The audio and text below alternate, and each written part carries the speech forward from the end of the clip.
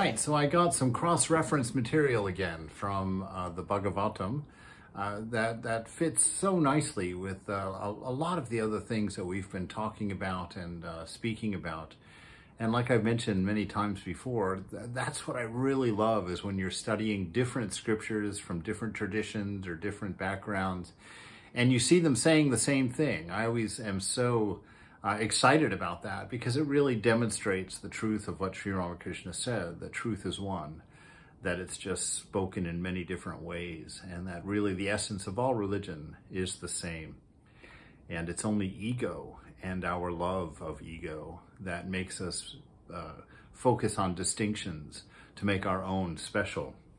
So here we have the sage Bharata telling the king, uh, answering the king's question, uh, about the nature of the self, about the purpose of life, about what is truth.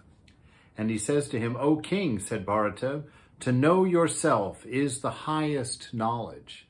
And to know who you are, to know what you are. Not just your personality, not just the, the easy answers, but what is it to be human? What is it to be alive? How is it that we're alive? I was watching a science documentary the other day, and the, the, the question they were trying to answer is why is there anything at all? Why is the, the universe just nothing? How come there's something there and not just nothing? And so this is kind of that same question. What is the nature of life? What is the nature of what we're about? What is this for? O king, said Bharata, to know, to know thyself is the highest knowledge. But this knowledge of the self does not arise so long as a man thinks that he can find happiness in this transitory world. There's a big clue. So happiness, that, that lasting, contented happiness cannot be found in this world. And we've talked about that why so many times. You know, that everything in this life has an expiration date. Nothing lasts. So all of your joys and pleasures and excitements and experiences they're all just short little pieces that don't last. And uh, you have to constantly pursue them again and again and again in order to collect them. But even in that form, you're always left wanting. And so as long as you believe that the answer for your life, the purpose of your life lies in this world of changing, it's going to be a frustrating endeavor for you. You're never going to find the deep fulfillment that you're longing for inside. So he goes on to say, man remains bound by his own deeds, good or evil, because of the identification of the self with these three gunas, sattva, rajas, and tamas. Those are just the three fundamental elements, as it were. You know, tamas is inertia, that, that which slows things down, makes things immobile. Rajas is the exact opposite of that. It's frenetic energy, lots of action, activity. And then sattva is kind of the equilibrium between those two when they when there's an equal calmness or contentedness.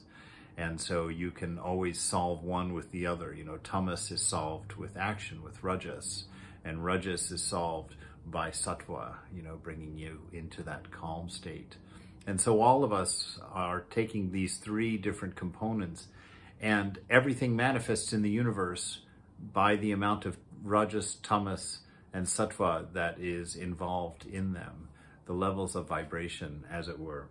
When we identify with this body, with this mind, with those things that are a product of the gunas, we feel our bondage, we feel our suffering, we feel we feel uh, the pain of life. He says, good or evil attaches itself to the mind alone and never to the true self. Right? So, so that is the value in finding the separation between you and mind, understanding that you're not the body, that you're not the mind, because that is where all of the misery is held. it's in the things of mind and body. And so by knowing your freedom from those, knowing your separate self from those things, you can choose to engage with them or not. You don't have to be subject to your moods and to the pains and pleasures of the body. That, that you're independent and you can find a strength and equanimity of calmness and tranquility that is not conditioned by the gunas, by the body and mind and all the things in the transitory world. He says the divine self appears as an individual spirit because of its association and identification with the mind. So the fact that the soul, the spirit, that which is you, that which is watching mind and experiencing body, that separate self, that infinite self, it gets dragged into the, the troubles and conditions of the mind and body because it becomes identified with them. This is my body. This is me. This is my mind.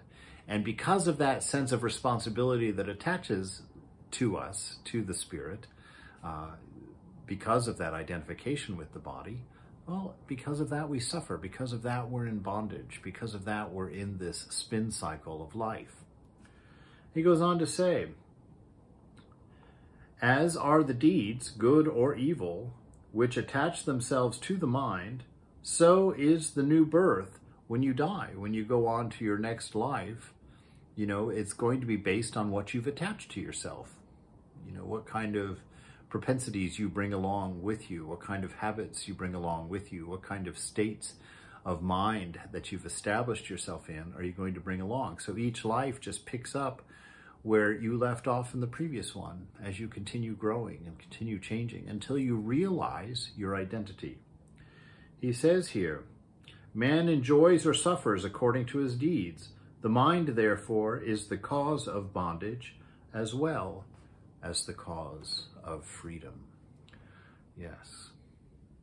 So free yourself from the mind. Don't be controlled by your moods. Keep discerning and looking for that part of you that's not changing. If it's changing, it's not you. If it's not changing, that alone is real.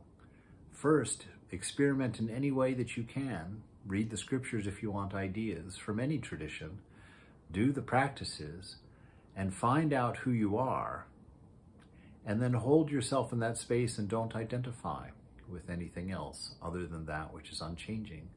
And that's where your equanimity of mind comes, where your contentment comes, where your strength comes, uh, where your understanding about this life comes.